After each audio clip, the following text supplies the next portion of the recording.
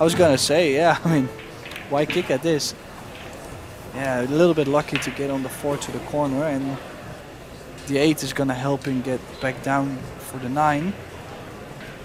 He's gonna play into the long rail and back out, low left.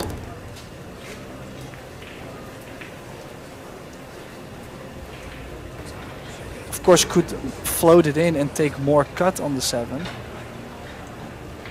But I'm sure he's not gonna load the cue ball up with a lot of spin.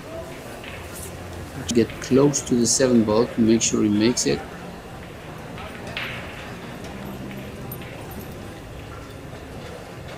Yeah, he needs one good shot on the seven ball.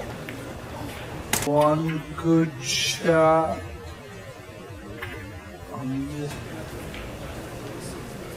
Took a little gamble.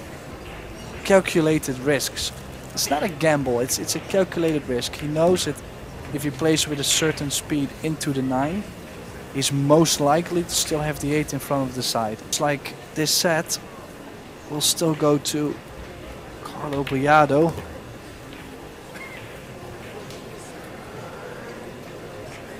on the previous game, but